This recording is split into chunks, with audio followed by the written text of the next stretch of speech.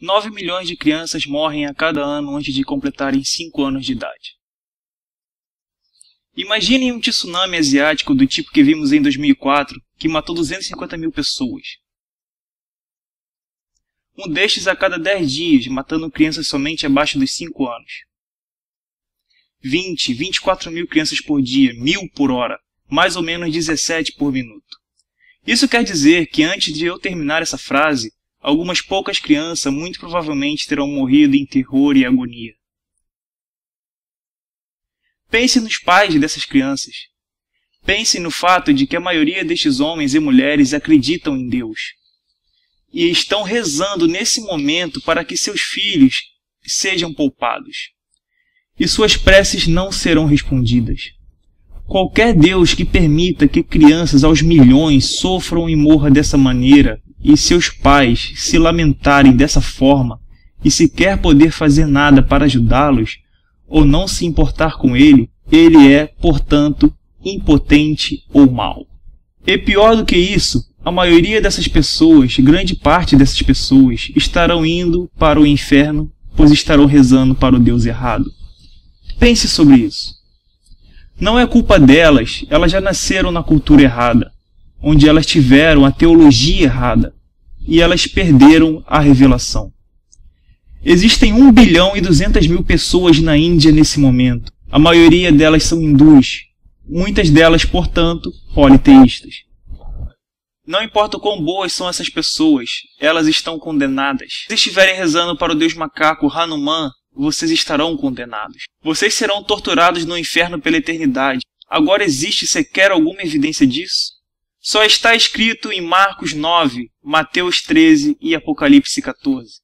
Talvez vocês lembrarão do Senhor dos Anéis quando os elfos morrem, eles vão para Valanor, mas eles podem renascer na Terra-média. Disse apenas como uma comparação. Então Deus criou a isolação cultural do indiano. Ele projetou as circunstâncias de suas mortes na ignorância da revelação. E então ele criou a punição por causa dessa ignorância, que é uma eternidade de tormento consciente no fogo. Por outro lado, um assassino serial comum, que passou sua vida estuprando e torturando crianças, precisou ir somente para Deus, para Jesus, e com isso vai passar toda a eternidade no paraíso após a sua morte.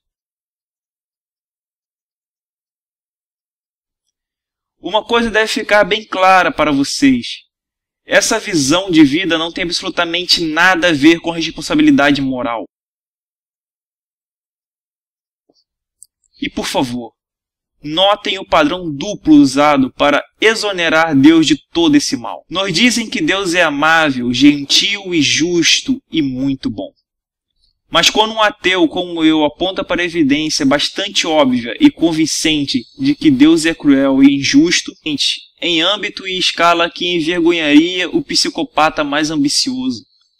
Nos dizem que Deus é misterioso, mas quem pode compreender a vontade de Deus? No entanto, é precisamente isso. Essa compreensão meramente humana da vontade de Deus é precisamente o que os crentes usam para estabelecer sua bondade em primeiro lugar. Algo bom acontece a um cristão e ele sente alguma felicidade enquanto reza. Ou ele vê uma mudança positiva em sua vida e nos dizem que Deus é bom. Mas quando as milhares de crianças são arrancadas de seus pais e se afogam, nos dizem que Deus é misterioso. É assim que vocês jogam tênis sem rede. E quero sugerir a vocês que isso não é apenas cansativo quando pessoas inteligentes falam dessa maneira. É moralmente repreensível.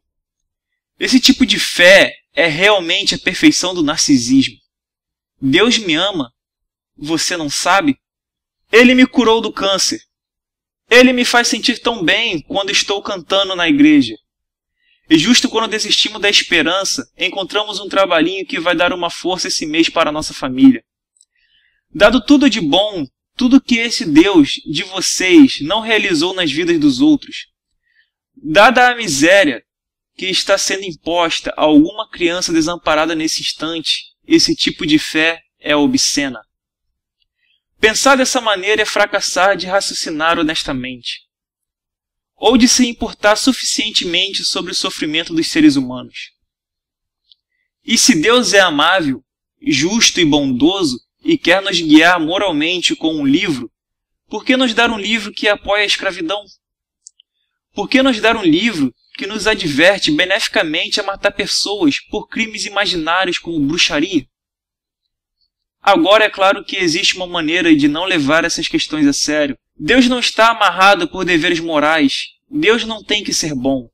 O que quer que ele ordene é bom. Então, quando ele ordena que os israelitas massacrem os amalequitas, esse comportamento torna-se intrinsecamente bom porque ele ordenou. Estão nos oferecendo uma atitude moral psicopata e psicótica. É psicótica pois é completamente delirante. Não há razão para acreditar que vivemos em um universo governado por um monstro invisível Jeová, mas é psicopata pois é totalmente indiferente do bem-estar do ser humano. Isso racionaliza tão facilmente o massacre de crianças. Pensem nos muçulmanos neste momento que estão explodindo a si mesmos, convencidos de que são agentes da vontade de Deus. Mas eles estão rezando para o Deus errado. Se eles tivessem o Deus certo, então o que eles estão fazendo seria bom, pela teoria do comando divino. Obviamente, não estou dizendo que todas as pessoas religiosas são psicopatas e psicóticas, mas isto para mim é o verdadeiro horror da religião, que permite pessoas perfeitamente sãs e decentes a acreditar aos bilhões o que apenas lunáticos poderiam acreditar por si sós. Se vocês acordassem amanhã de manhã achando que se disserem alguma palavra para o seu pãozinho irá transformá-lo no corpo de Elvis Presley, vocês perderam a cabeça. Mas se vocês pensam mais ou menos a mesma coisa com uma hóstia e o corpo de Jesus, vocês são apenas católicos. Eu não sou a primeira pessoa a notar que é um tipo de Deus amoroso muito estranho que faria a salvação depender de acreditar nele com má evidência.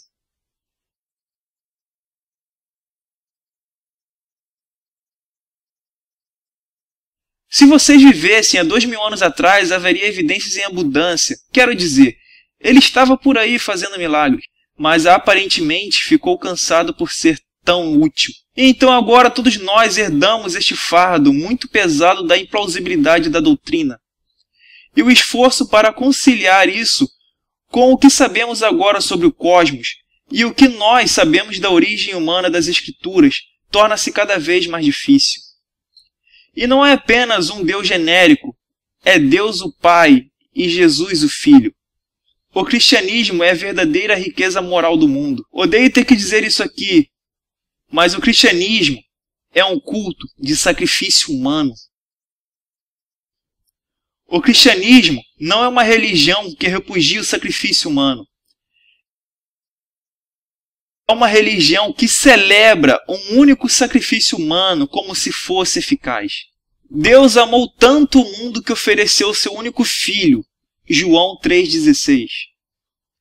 A ideia de que Jesus sofreu crucificação para que ninguém precisasse sofrer no inferno, exceto aqueles bilhões na Índia.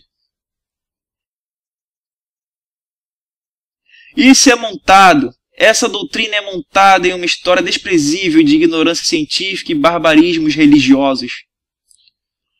Nós viemos de pessoas que costumavam enterrar criança nos alicerces de suas novas construções como oferendas a seus deuses imaginários. Apenas pensem sobre isso. Em um vasto número de sociedades, pessoas enterravam crianças em buracos. Pessoas iguais a nós pensando que isso impediria um ser invisível de derrubar suas construções. Estas são os tipos de pessoas que escreveram a Bíblia. Se existe uma estrutura moral menos moral, eu não ouvi falar.